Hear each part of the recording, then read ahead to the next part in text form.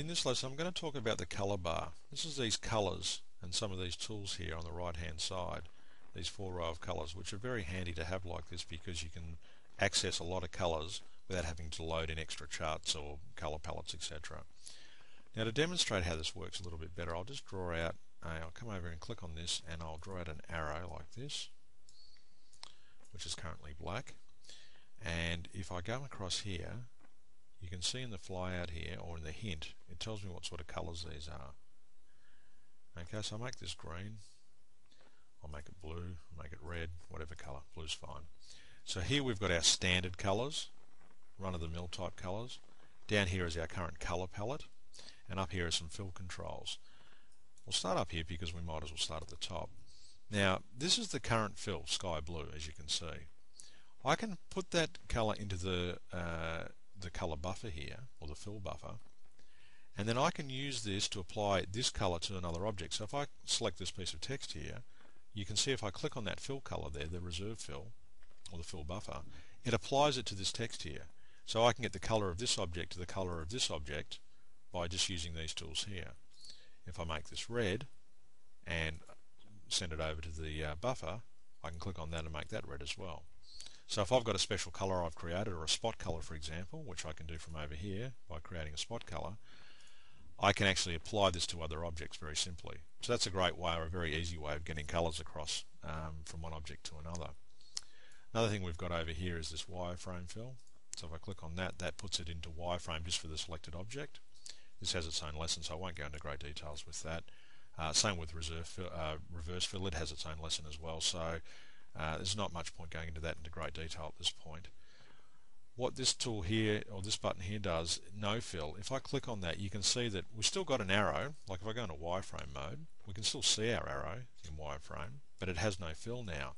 So if I right click on any of these colors here, I will apply that as a pen style. And as you can see, it comes in as hairline. So if I click on this pen flyout here and go to pen width here, and come down and say make it thick, you can see that I've applied this pen style. Even though this object has no fill I can see its pen style. If I give it a, a fill back again you can see that it just automatically fills up that object. So to change the pen style you can right click on an object to change its color and you can use any of these these colors here to fill the object. These other uh, uh, things here the registration color and the uh, contour cut color and the underbase color. Again, these are advanced concepts. They have their own lessons, and you can watch those when you're uh, when you have time or you're interested in learning about those things. We'll just keep going on here. We'll, we'll talk about this color palette uh, here, this this color chart.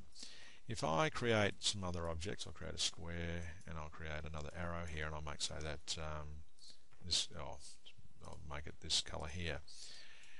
If I come down here and I look at my colors in use, display document colors, I click on that, you can see it's showing me the colors that are currently in use in the document, as here.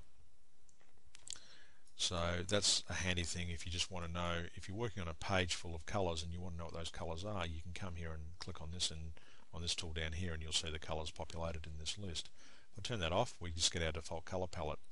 Now, this default color palette, as you can see, has got its particular names here, pale, violet, red, etc. If I want to change this to say a vinyl color chart, I come down to here and I click on my color library. Okay, I can click on that and it brings up this window here and you can see that at the moment we're looking at our default color chart. I might want to make it, uh, we'll select 3M here and the Scotch-Cal list here. I click accept. You can see that this color chart is now populated with the Scotch-Cal colors and if I hover over these colors I can see that that's uh, the 3M Scotch-Cal uh, Scotch and it's cardinal red um, and uh, apple green, etc., etc. And I can make that that apple green color, and that's a great way of changing these charts. You can change them in here, and to bring them back, you can either click on this button here, or you can come onto the fill flyout, color libraries here, click on it there, and we'll just come to the chart you currently have selected. Go back to our default, click accept. Now I've done that because I want to show you some other tools here. The default color chart, actually I'll bring it back up, I'll just show you how long it is. As you can see, there's a lot of color palettes here, or color swatches, lots and lots. So click accept. I've now got my default color palette here. If I want to scroll through this, you see this button here, you click on that and it just scrolls through. So I've got instant access, and there's the top one to bring it back up to the top. I've got instant access to any of these colors in this color palette here. which is a very good thing to be able to, uh, to access and be able to apply any of these colors to the objects I have selected. So that's how that, that part of it works.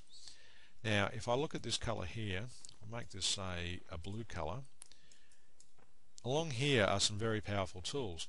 This is a darkening tool, so this darkens the color, and this one on the left of it lightens the color. So that's that's a very handy way of quickly changing the color without having to bring up color mixing color uh, you know the, the color mixer etc you don't have to do that you can just use this to darken and lighten quickly on this left hand button here it's the hue to the left hand side of the color wheel and hue to the right hand side of the color wheel. So if I click on that you can see how it scrolls through the hue. If I click on the other way it scrolls it back through and you can see how it updates those colors like that. So these two tools here are interactive and dynamic and depending on what color you've got selected will scroll through the hue or lighten or darken the actual color of the object of the fill. Now if I click off this, so I've got nothing selected and I'm in object mode, I can come down here and I can actually set my default uh, my default current fill and my default pen style fill. So if I say red, you can see that that red swatch comes in and if I say I make this blue, so I've got a default red fill and a default blue pen style. So if I come over here and say draw a new arrow here like this, you'll see it will come in as red because that's my default fill style.